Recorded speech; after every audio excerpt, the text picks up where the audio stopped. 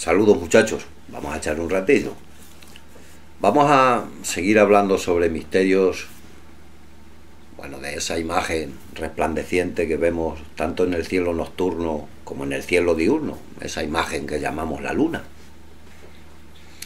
Uno de los grandes misterios que nos ofrece, al menos a simple vista, son, digamos, esa imagen que nos muestra que parece que ha sido bombardeada por millones de asteroides, meteoritos, cometas que nos cuentan y que han producido, digamos, todo ese tipo de cráteres y demás, ya digo, que parecen a simple vista. Es, digamos, un poco incoherente la respuesta oficial sobre todo este tema, porque daros cuenta que si bien la Luna, en algún aspecto, podría hacer a veces de escudo y absorber, digamos, la llegada de algún meteorito, asteroide y demás, que viniera de esa parte, digamos, del universo a chocar contra la Tierra y al estar la Luna delante, pues bueno, quizá podría absorber muchos de estos impactos. Hasta ahí totalmente de acuerdo. Luego podemos ver que en la cara que nosotros vemos como bombardeada, que es la que siempre nos muestra la Luna, esa imagen que vemos llena de supuestos impactos de meteoritos y demás, esa cara debería de estar totalmente protegida por la Tierra, que es mucho mayor que la Luna, y siempre esa cara está al cobijo o estaría al cobijo de la Tierra. O sea, eso es elemental.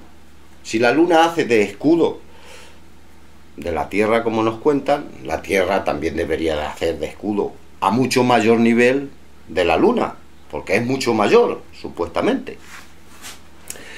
Ya digo que es totalmente incoherente eso, y además daros cuenta que gran parte del mes la Luna aparece, digamos, en el firmamento, en la misma zona de influencia que el Sol. La vemos en gran parte del mes de día.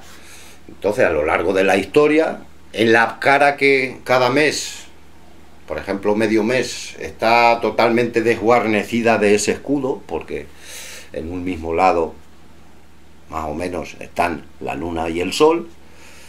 En esa parte, además si la Tierra va dando vueltas, pues eso, en épocas donde hubiera habido un gran bombardeo de estos meteoritos, debería haber alcanzado a la Tierra en muchísimas más ocasiones. Si bien, ya digo, otra cosa incoherente, nos dicen que hace bueno, millones y millones de años, supuestamente fue lo que acabó con los dinosaurios y demás, hay una serie de supuestos impactos de estos meteoritos en la Tierra. En, el Sahara, o sea, en distintos puntos del mundo. En el Sahara tenemos la estructura de Richard, en las Américas tenemos el cráter de Chicxulub, en el Mar del Norte, más allá de las Islas Británicas, tenemos el cráter de Silver Pit, que al igual que el cráter de Siva en los mares de la India, aparece sumergido quizá en lo que alguna vez pudo ser una civilización. Recordar la historia que os mencioné prácticamente calcada a la desaparición de la Atlántida en los escritos indios y su concordancia con la ciudad submarina que se descubrió hace unos años una civilización que fue sumergida bajo las aguas. Ya digo que nos podemos ir también a la otra parte del mundo, el desierto del Gobi, en China, allí también hay registros de este tipo.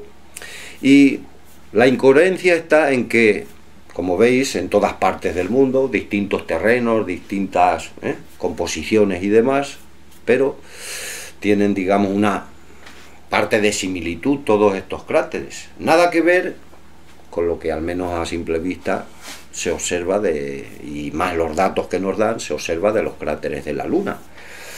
Cráteres gigantescos, mayores que países, grandes países de aquí de, de la Tierra, que bueno, la concordancia entre la relación entre la expansión del impacto y la profundidad, pues bueno, son totalmente incoherentes, ya digo, aquí en la Tierra en ese aspecto son algo más coherentes, al menos en la explicación.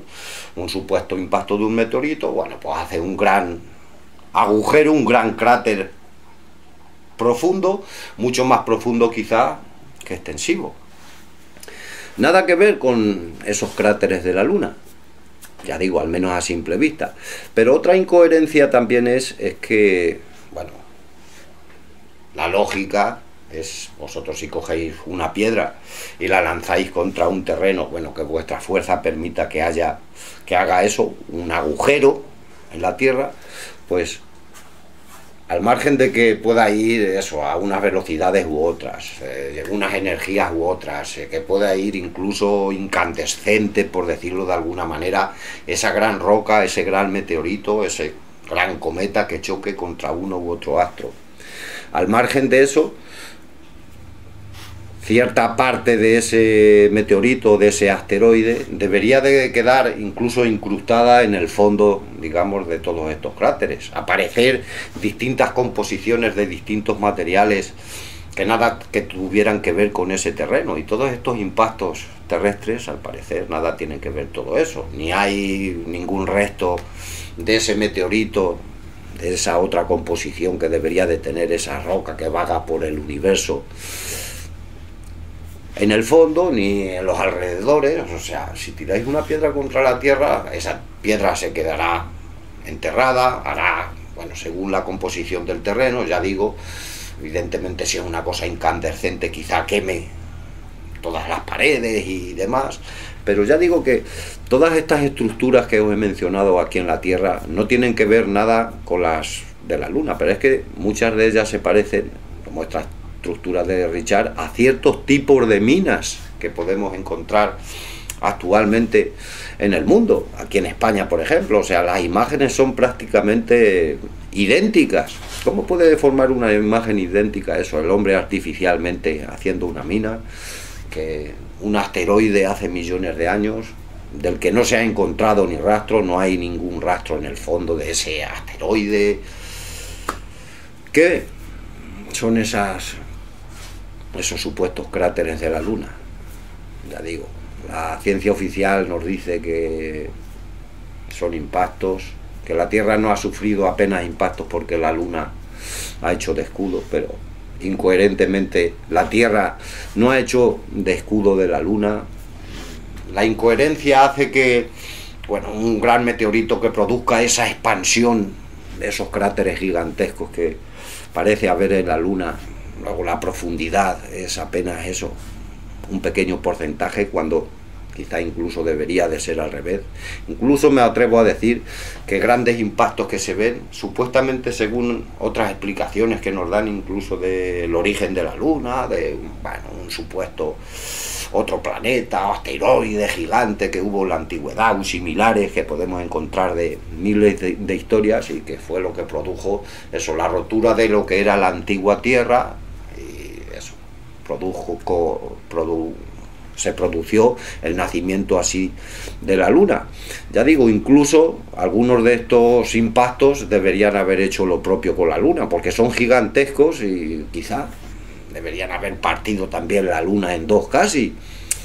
Todo esto, ya digo, son apuntillos de lo que se ve a simple vista, de lo que se eso, divaga o dilucida uno, de que le da vueltas a una cosa todos son, como siempre os cuento, cuentos, historias, pero cuentos e historias que nos hacen eso, recapacitar sobre algunas dudas que tenemos todos sobre todos estos temas. Esa imagen de la luna siempre perpetuamente como si fuera una fotografía, esté desde la posición que esté, siempre nos ofrece la misma imagen, una cosa totalmente incoherente que ya veremos por ahí en otro vídeo, a ver si hacemos por ahí eso, algún experimentejo, alguna maqueta y con cuatro cosas básicas y para mostrar, ya digo, que todas estas historias oficiales quizá tienen algo oculto detrás, quizá no nos dicen toda la verdad. ¿Qué ha producido eso? ¿Qué es eso que vemos en, la Luna? Distintas imágenes también que podemos asociar incluso a otros planetas. Parece haber siempre eso, un mismo suceso en la misma parte de uno u otro astro. Ya iremos viendo también, como os digo, en distintos vídeos. Ya hemos visto aquí algunas de estas cosejas, muchachos. Como os conté en el capítulo anterior sobre esto de la luna, vamos a ir tratando eso, aspecto por aspecto, dando unos apuntillos sin liarnos mucho y viendo cosas básicas que nos hagan reflexionar sobre una u otra cosa, sobre una u otra verdad, sobre... Bueno, ¿qué queréis que os diga, muchachos? Ya hemos echado un ratillo y eso, que somos uno, que soy otro tú.